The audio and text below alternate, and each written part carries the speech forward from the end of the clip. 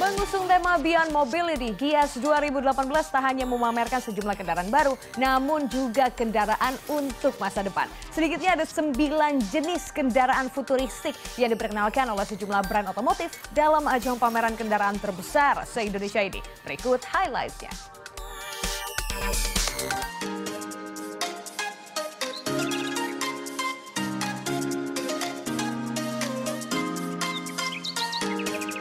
Gaikindo Indonesia International Auto Show kembali digelar tahun ini. Dengan tema Beyond Mobility, Gias 2018 ingin memamerkan kendaraan yang tak hanya akan menjadi alat transportasi semata, namun juga menunjang kualitas hidup manusia di masa mendatang. Sejumlah merek kendaraan asal Asia dan Eropa seakan berlomba memamerkan kendaraan purwarupa berteknologi canggih. Dari Jepang, produsen Toyota menampilkan tiga unit mobil konsep sekaligus, yakni i-Concept, i-Ride, dan iWalk.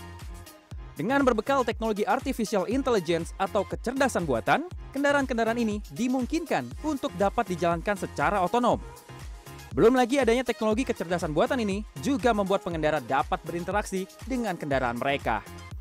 Toyota i-Concept sendiri nantinya akan menjadi kendaraan maskot saat dibukanya gelaran Pesta Olahraga Dunia Olimpiade 2020 di Tokyo, Jepang. Selain tiga mobil konsep dari Toyota, pabrikan Honda juga tidak mau kalah dengan memamerkan Honda New V. Mobil dua penumpang milik Honda ini juga berbasis teknologi kecerdasan buatan atau AI.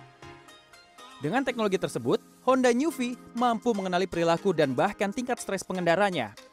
Mobil ini mampu mengisi energi listriknya sendiri ketika low bed dari energi kinetis yang telah disimpan saat berjalan. Lain dari Toyota dan Honda, lain juga Mitsubishi. Produsen yang juga dikenal dengan mobil balap Lancer Evolution ini juga turut memajang perwarupa bertampang gaharnya. Bergaya SUV, mobil ini diberi nama E-Evolution. Nama yang sepertinya ingin menampilkan aura balap rally, namun dengan keramah tamahan lingkungan. Dengan berbekal tiga motor listrik, mobil yang juga dilengkapi teknologi AI ini juga bisa melaju dengan kencang serta mampu membaca kondisi jalan setiap saat.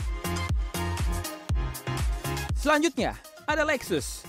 Brand mobil premium asal Jepang ini juga memamerkan mobil perwarupa LS Plus yang bergaya sangat elegan serta cocok digunakan oleh para eksekutif muda di masa depan. Mobil ini mampu dikendarai secara otonom dengan bekal mesin hybrid yang hemat bahan bakar, namun tidak menghilangkan ciri khas performa layaknya mobil-mobil keluaran Lexus lainnya. Daihatsu pun turut serta memamerkan mobil konsepnya, yakni DN Pro Cargo yang multiguna sesuai pesanan pemiliknya kelak. Dengan berpenggerak motor listrik, nantinya mobil ini akan disegmentasikan bagi pelaku usaha ataupun mereka yang bergerak di bidang sosial dan kemanusiaan agar bisa menjadikan kendaraannya sebagai tempat bekerja. Beralih ke pabrikan Tiongkok, Wuling. Pertama kali muncul di Indonesia pada Gias 2017 lalu. Di 2018 kali ini, Wuling sudah berani menunjukkan tajinya sebagai sebuah brand otomotif. Wuling hadir dengan memboyong mobil konsep berbasis energi listrik, yakni E100. Mobil ini sendiri berbekal tenaga dan baterai listrik yang bisa diisi daya selama 7,5 jam dan mampu menggerakkan motor listriknya hingga kecepatan maksimal 100 km per jam dengan jarak maksimal 155 km.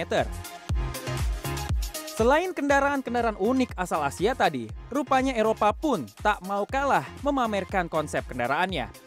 Brand otomotif asal negara Jerman BMW juga memamerkan kendaraan purwarupa bertipe SUV dengan nama X7 Concept. Meski begitu, BMW masih menutup rapat soal mesin apakah yang nantinya akan disematkan pada mobil bongsor ini.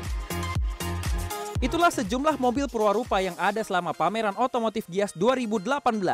Tetap nantikan perkembangan dari kecanggihan teknologi dunia otomotif lainnya hanya di CNN Indonesia Tech News. Albi Pratama, Tangerang Selatan.